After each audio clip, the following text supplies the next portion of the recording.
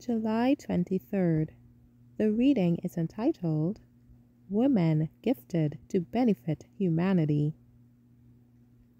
And many of the Samaritans of that city believed on him for the saying of the woman, which testified, He told me all that ever I did.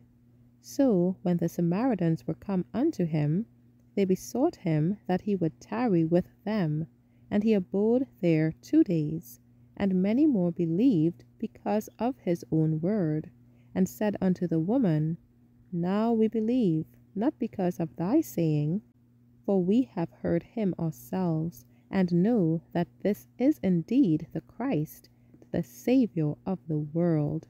John 4, verses 39 through 42.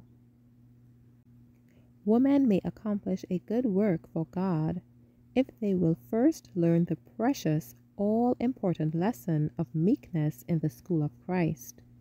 They will be able to benefit humanity by presenting to them the all sufficiency of Jesus.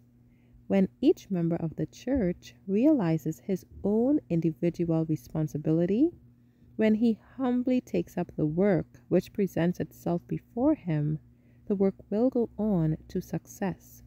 God has given to every man his work according to his several ability.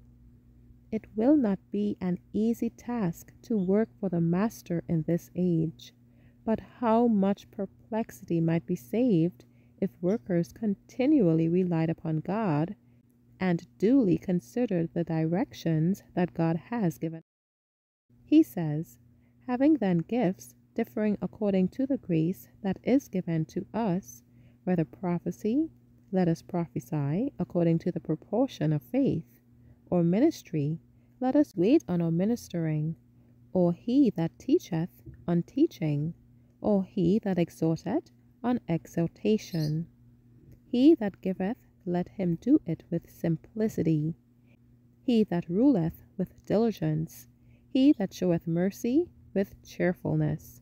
Romans 12, verses 6 through 8. This is a subject that demands close, critical study. Many mistakes are made because men do not heed this instruction. Many who are entrusted with some humble line of work to do for the master soon become dissatisfied. Soon become dissatisfied and think that they should be teachers and leaders. They want to leave their humble ministering, which is just as important in its place as the larger responsibilities.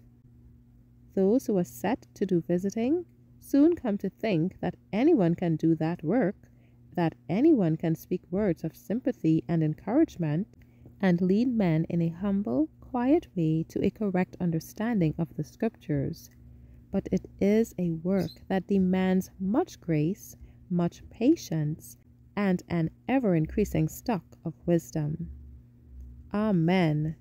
The grace of the Lord Jesus Christ be with you.